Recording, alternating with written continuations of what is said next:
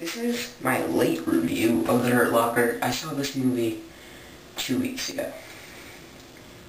Now, this is a point in the year that has really surprised me because we've gotten a lot of different things. We've gotten a lot of bad movies here, but particularly right now I have been surprised with a lot of movies. One of the other ones being Moon, and I'm, when I'm talking about movies, I'm talking about, I didn't think this year could be that good, but with three movies that really changed my mind, coming not from the mainstream, but as indie flicks, some three movies. Moon, 500 Days of Summer, and The Hurt Locker. The Hurt Locker was the first of them for to see. It was the first, I saw, there was three movies that my local AMC he got, and, and that was Whatever Works, The Hurt Locker, and Away We Go. And The Hurt Locker was the third one I saw, and it was by far the best one. And I don't know how I can put my top five of this year together so far. All I know is that Up is still number one, but the rest of the, the after number one, it consists of State of Play, Moon, The Hurt Locker, and Star Trek. I don't know what, which orders, but those are two through five. There's a point in this movie, the very beginning, where it shows you, by the very beginning, it shows you that anybody can die. That anybody at any point in this world could die. You don't know when, you don't know how. Which one, any one of these characters can die at any point. They show you that. From that point on, you are worried. You are stressed out every time they go into a war situation. And um, any time they put on the bomb shelter suit and they go out and they do their job.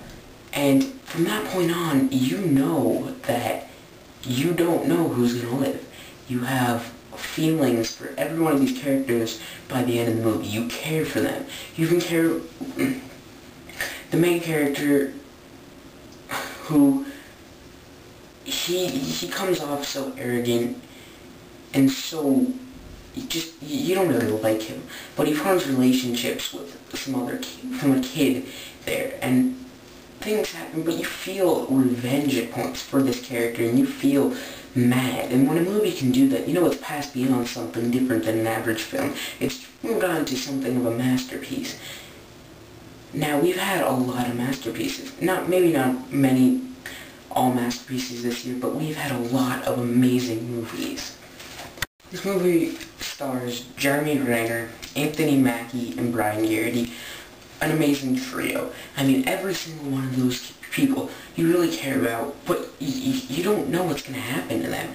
I mean, there's tension between them at times. Even they talk about times they talk about killing each other. When they go being best friends, getting drunk together. There's no certainty in this movie, which I love because it's so different from the cliche, and it's one of the best war movies I've ever seen.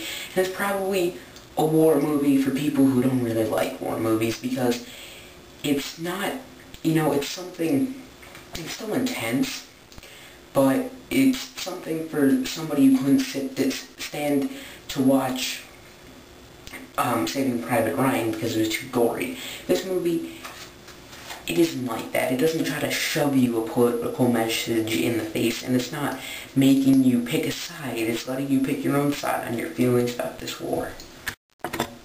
Now, there's a point in this movie when they are sniping towards a building with the enemy Iraqi people there. Um, and because they had to go help some people, you know, there was, their car broke down, their Humvee broke down, they had to help them in terms of this tense situation.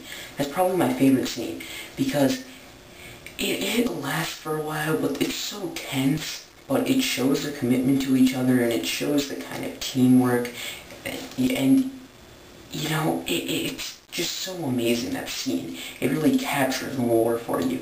That you don't know what's to happen, and you got to stay focused, and they're just sitting there. And the guy gives him a drink, and he's, like, making him sip it. I'm just like, wow.